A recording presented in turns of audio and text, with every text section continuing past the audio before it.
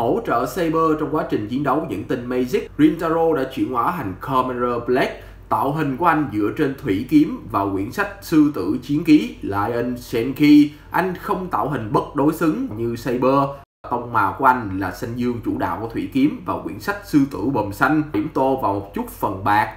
Phần đầu sư tử thể hiện rõ trên phần thân, do quyển sách trung tâm Lion Senki được đặt giữa driver của Black nên tạo nên cơ thể vô cùng cân đối. Phần gương mặt là những chiếc gai nhọn cũng như phần kính thể hiện một vệt chém bất đối xứng, giống như một con sư tử đã trầy da tróc vậy trong những trận chiến cam go của nó khác với phong cách chiến đấu, uy dũng cũng như mãnh liệt ngọa kiếm của Saber, Black thiên nhiều về sự uyển chuyển cũng như kỹ thuật trong những cú đá đòn của mình phong cách chiến đấu của anh thể hiện rõ là một tay kiếm đã luyện tập từ rất lâu. Có những đường kiếm và những kỹ thuật chiến đấu được mài dũa rõ ràng qua nhiều năm tháng chiến đấu gian khổ. Khả năng chính của anh là cường hóa thủy kiếm, bao quanh nó bằng những luồng nước để tấn công cũng như phòng thủ. Anh sẽ phóng thẳng một luồng nước với quy lực cực mạnh để tấn công kẻ thù ở phạm vi tầm xa.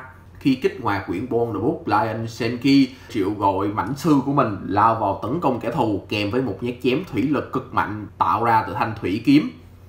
Đòn tất sát, Lion Wonder tụ năng lượng vào ngực của mình, phóng ra một tia nước, dọn tan kẻ thù xung quanh và bao bọc kẻ mà anh nhắm tới bằng quả cầu nước. Hắn bị vô hiệu hóa cho đến khi Black ra đòn kết liễu bằng một nhát chém với năng lượng của nước hoặc là một cú Rider Kick